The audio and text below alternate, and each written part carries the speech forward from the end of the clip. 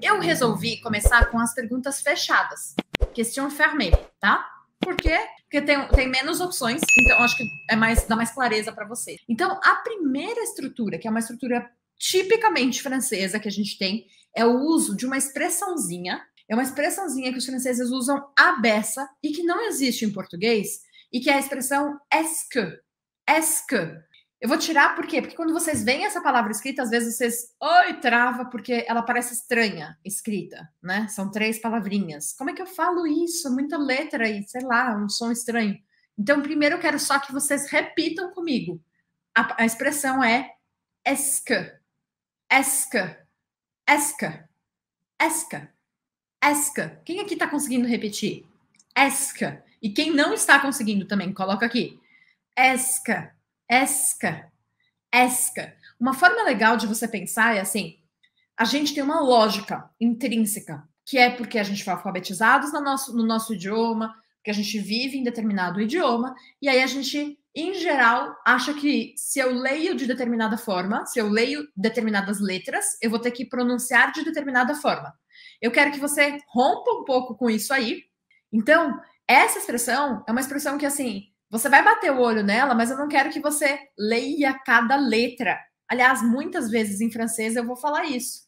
Ao invés de você ler cada letra, você vai falar este som. Esque. Não é o som sec. Isso é outra coisa, Eliseu. O Eliseu está perguntando isso. Então, sec é uma coisa, mas eu estou falando para você fazer, falar a expressão esque. Começa com E. Esque, esque, esca, esca. E aí você vai se habituar a falar isso meio rápido. Esk, esk, esk, esk. Sabe o que que parece? Para quem fala inglês, parece ask em inglês, A-S-K em inglês. Para quem não fala inglês, bora lá, não importa. Eu coloquei aqui do lado, entre colchetes. Mais ou menos como que a gente poderia imaginar isso escrito em português. Ask, E-S-K. E aí, uma correção para você, Joyce. A Joyce escreveu a mesma coisa que eu estou falando, só que ela escreveu com um i no final. E eu não quero que você coloque esse i, porque isso vai gerar uma confusão. Não é esqui, é esc. Esc. O último som que a gente escuta na expressão é o som de k, k, k, sem vogal nenhuma. Eu sei que isso é estranho para você, para vocês, né, em geral. Esc, esc, esc, esc ask, tá? Você faz várias vezes essa, essa pronúncia, né? E aí uma coisa interessante da gente ver é que é o seguinte, essa expressão ask, ela não significa nada. Olha que loucura. Ask não tem sentido nenhum. Ask é apenas uma expressão que a gente é, que a gente coloca no começo de uma pergunta ou em uma pergunta, marcando que se trata de uma pergunta. É como em espanhol, que tem aquele ponto de interrogação ao contrário, sabe? E que o ponto de interrogação ao contrário já mostra no começo da frase que se trata de uma pergunta. Então, aqui acontece a mesma coisa com o ask. Ask. Ask já mostra para você que isso é uma pergunta de partida. Então, você começa a ouvir isso, você já sabe que a pessoa está te fazendo uma pergunta. Ou se você falar isso, a pessoa já sabe imediatamente que você está fazendo uma pergunta.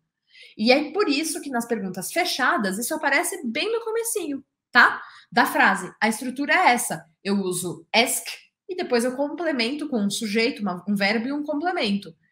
Ask. E eu coloquei algumas, alguns exemplos aqui para vocês. É, bora lá, então vamos fazer o seguinte. Agora eu quero ler esses exemplos que eu escrevi e eu queria que você repetisse comigo. Ah, Elisa, eu não sei falar francês. Você vai tentar repetir o som como der, da forma como ele vier não vai precisar ser perfeito. Aliás, a perfeição ela é um grande problema nas nossas vidas, porque a gente quer ficar encontrando o jeito perfeito de dizer as coisas e aí não fala nada, né?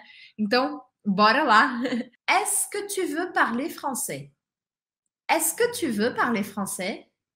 Est-ce que tu veux parler français? Est-ce que tu veux parler français? Ó, oh, o Persílio trouxe uma ideia bem legal, que eu vou até compartilhar o que ele falou. Lembra quando em português a gente começa uma conversa e já fala: Deixa eu te perguntar. É isso aí, é meio que essa ideia. É como se você introduzisse para a pessoa com quem você está fazendo, falando, que já é uma pergunta, tá bom? Esca. Oui, Jacqueline, je veux. Et nous, nous irons, tu vas voir. Bom, bora lá. Então, a gente tem aqui a primeira. Vou aumentar aqui a tela de novo para vocês. Est-ce que tu veux parler français? Aí eu posso falar mais rápido. Est-ce que tu veux parler français? Est-ce que tu veux parler français? Est-ce que tu veux parler français? Estão repetindo comigo? Se você não está repetindo, tem uma coisa muito errada, tá? Est-ce que tu veux parler français? Est-ce que tu veux parler français? Bom, repetir várias vezes essa primeira frase. Agora vamos à segunda. Vocês estão vendo que é a expressão est-ce que eu falo ela bem rápida, junta, então de uma forma que pareça que é uma coisa só, parece uma palavra só. Est-ce que tu vas voyager ce week-end? Então a primeira era você quer. Eu, eu, na tradução eu nem falo esse est-ce que, tá vendo? Eu começo do sujeito mesmo. Você quer falar francês? Aí depois, você quer, é, você vai viajar este final de semana? Então a gente tem Est-ce que tu vas voyager ce, ce week-end? Est-ce que tu vas voyager ce week-end? Est-ce que tu vas voyager ce week-end? Est-ce que tu vas voyager ce week-end? E aí mais uma opção, uma, um exemplo. Est-ce que tu es déjà allé en France? Est-ce que tu es déjà allé en France? Por acaso, os três exemplos que eu coloquei foram com tu mas eu poderia usar com qualquer sujeito, tá? Com qualquer tempo verbal. Não tem determinado isso. O sujeito e o tempo verbal, eles não importam nesse caso. Você pode usar est em todos os tipos de situações. Mas eu já deixo bem claro que o est ele tem um, um, um que um pouquinho mais informal. Então, em geral, a gente usa est em situações em que a gente tem um pouquinho mais de informalidade é, em francês, tá bom?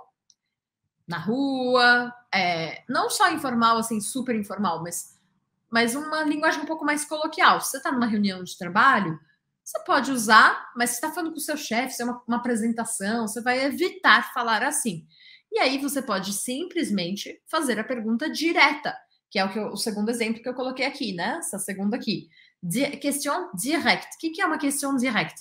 É a pergunta direta, sem nada. O que muda apenas é a entonação. E a gente já vai ver isso aí. Então, seria mesmas, as mesmas perguntas sem o que. Então, a gente já aprendeu duas formas de fazer perguntas fechadas, usando a expressão est que e não usando a expressão est que. Est-ce que tu, parles, tu veux parler français? Posso perguntar assim. Ou posso perguntar, tu veux parler français? Tu veux parler français? As duas são corretas. Est-ce que tu vas voyager ce week-end? Se eu tiro o est que, vira, tu vas voyager ce week-end? Tu vas voyager ce week-end? Est-ce que tu es déjà allé en France? Vira. Tu es déjà allé en France? Tu es déjà allé en France? Então, Joyce, não é que é informal, mas é mais coloquial. Qual que é a diferença de informal e coloquial? Não é que você está sendo grosseira, não é que você só pode falar assim com gírias, nada disso. Mas quando você fala assim, você está tendo uma coloquialidade, você está mais, mais, mais soltinha na comunicação, digamos assim. Então, quando você precisa ser muito elegante, você vai evitar usar o SQ. Que situações você precisa ser muito elegante? Numa entrevista de emprego. Então, você vai tentar evitar isso aí.